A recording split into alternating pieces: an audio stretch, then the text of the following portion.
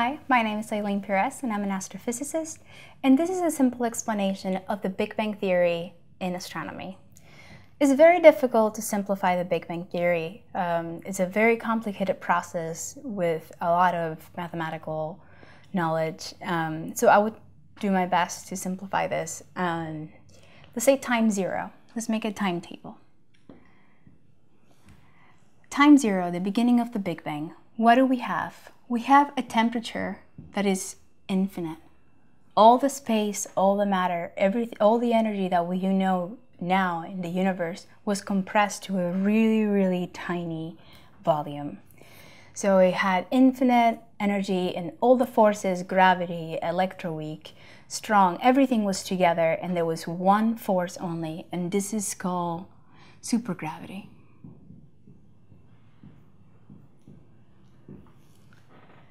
And then a lot of things happen between that and 100 seconds. So we'll put in 100 seconds here, and then I'll quickly go over what happened between 0 and 100.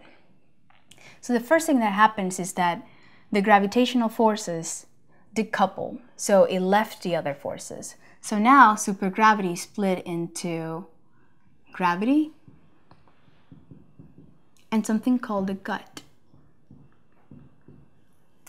The gut is the grand unified force and it's made out of the weak uh, the weak force, which is uh, the interactions of fermions. And fermions are particles like electrons. And then we have the strong force, which is the nuclear forces. So protons, neutrons, they all interact towards uh, using the strong force. And then we have electricity and magnetism, which is electromagnetic theory.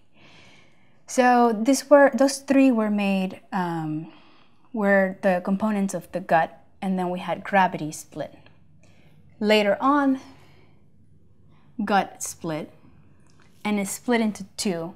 So here we had electricity and magnetism with weak together, and it's called the electroweak. And here we had the strong force.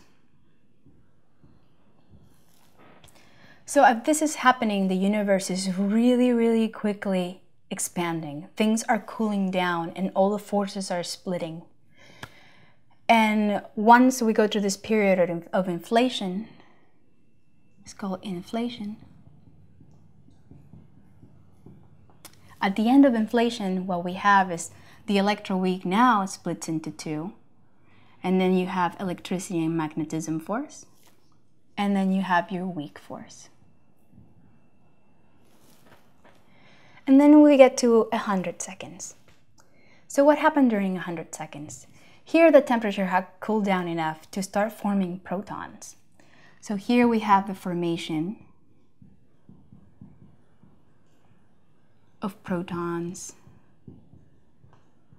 neutrons, etc. And this took, it took a while to make all this um, all these particles in the universe. And then it actually took quite some time because the next thing is 380,000 years after the Big Bang. So what's happening at this time? We have something called the recombination era.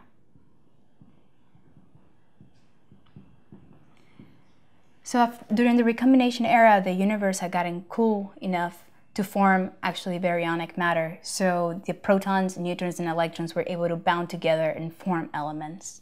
So here we make atoms.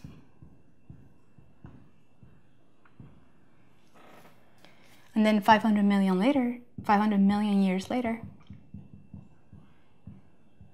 we start forming structures. So stars, uh, early, early galaxies and what we know of right now. And we're still expanding.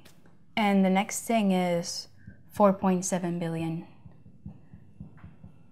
years later. And that's today. So a simple explanation of the Big Bang would be you had everything compressed into a very small volume all the forces were, were uh, together. It goes through an inflation period in which all the forces separate, and now you can make your quarks. And then at some point, it cools down enough to make the components of atoms. Later on, it gets even cooler, so it can actually make atoms. And then years and years later, it actually starts making structures.